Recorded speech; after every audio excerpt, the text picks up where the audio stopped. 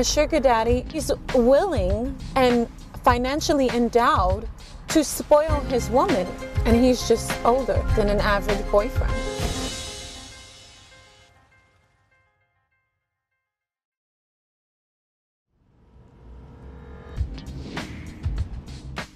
Thirty-seven-year-old Nina Peterson is one of the world's most successful sugar babies. The best part about being a sugar baby is the lifestyle. Vacations every month, not having to worry about paying your bills. Thinking back on this lifestyle, I am certain that it's provided me well over a million dollars. I've had my nose done three times. I've had my boobs done four times. I have had extensions in my hair that were thousands of dollars. I have paid close to $100,000 worth of surgeries. Well, I didn't pay, but Her most extreme surgery came earlier this year when she tripled her 34D breasts to an incredible 34H. I think they're like eight pounds. I'm addicted to shopping for my new boobs, you know, like just buying a whole bunch of cutesy tootsy stuff from my daddy because he loves it when I dress up. He calls me his little Barbie doll. I love to push those girls up in the air to salute my daddy. But, you know, he's worth it and he rewards me so well, so I can't complain. Pick out a color. All right. How about those two colors? You can put this as a base and then put that as a top coat.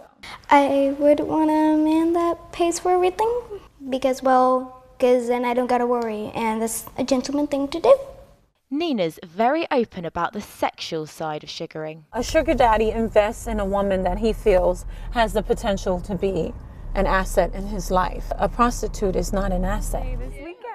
With being a sugar daddy and a sugar baby, you don't necessarily have to have sex. I mean, with me and my sugar daddy, he had already invested about $30,000 in me before we even had sex. Nina insists that her role actually helps her to keep up with her traditional family values. I think there are a lot of broken families nowadays that could benefit from a mom being available to raise up their children. I'm all for women having equal rights, but that's not what I was born to be. If back in time, if I had the opportunity to vote for women's rights, I'm sorry, I know I'm going to get bashed for this, but I would have rather stay at home. I would have rather stay at home. Once I built a trusting relationship with my sugar daddy, then I introduced him to the kids.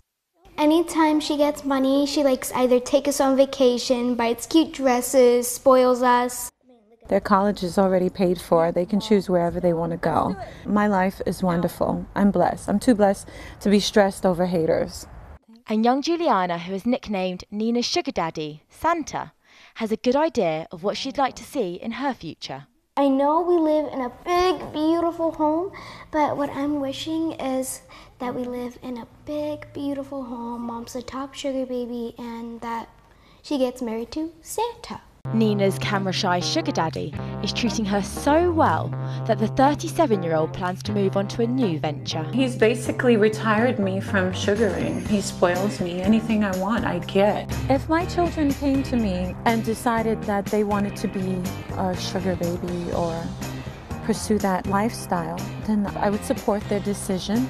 I would have a sugar baby academy with younger sugar babies to groom young ladies. I don't see any shame in being considered a bimbo. I think a bimbo is a free, enthusiastic, scintillating, beautiful, happy, boisterous young woman. I don't want to be normal. I don't want to be basic. I don't even think I'm human. I believe that I'm part alien, and I believe that I came to this earth to do incredible things. I just couldn't live a basic lifestyle.